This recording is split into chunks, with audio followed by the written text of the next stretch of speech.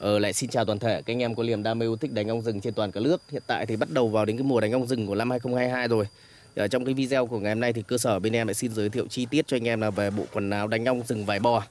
Về bộ này thì nó là cái hàng cao cấp nhất hiện nay cũng như là từ trước đến giờ. Giá cả của nó thì nó sẽ đắt hơn những cái hàng kia vài trăm nhưng mà mặc rất là thoải mái. Cái thứ hai nữa là rất là nhẹ. Bộ này thì ờ, năm nay thiết kế mẫu mới là liền ủng.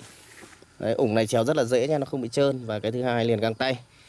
Còn à, về chất liệu của nó thì nó vẫn như mọi năm thôi, nó là cái vải bao xe của bộ đội. Hàng này thì à, trèo thì đảm bảo cho anh em là không bị rách. À, thường thường thì anh em đánh ong cây ví dụ như là ong khoái hoặc là ong uh, chân vàng Đấy, cắt lá thì anh em sử dụng bộ này. Có lỗ thoáng này, ô thoáng là tai. Và đằng trước đây thì có lớp kính BK luôn, tránh tình trạng ong đái. Và chỗ này là chỗ hít thở cho anh em. Phía đằng sau cũng rất là nhiều những cái ô thoáng này. Đó. Đây, ô thoáng ở lưng, thoáng ở trên gáy. Rau hay cửa? Dạ, Liền cũng găng tay. Rau, rau quắm ngon hơn em ơi. Rau quắm mà phạt.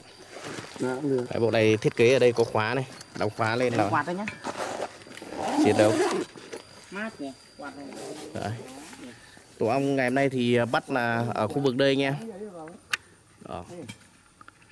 Đấy, đối với không có bộ quần áo mà anh em đánh ong rừng mà đánh tay bò với tổ này thì chỉ có cách là tối mình làm mồi lửa mình đốt thôi. Còn ví dụ bắt ban ngày như thế này thì anh em phải sắm cho mình bộ quần áo. Đấy, bên cơ sở nhà em là bán tất cả những cái ờ, mẫu quần áo đánh ong rừng Đấy, từ mẫu rẻ cho tới mẫu đắt. Hiện tại là mẫu này là mẫu cao cấp cũng như là mẫu đắt nhất hiện nay. Giá của nó thời điểm này là hơn một triệu đồng trên một bộ. Đấy. Anh em nào nhu cầu mua thì liên hệ nhé. Em để số điện thoại góc màn hình video ấy. Là bây giờ thì mấy anh em triển khai và bắt tổ này đây.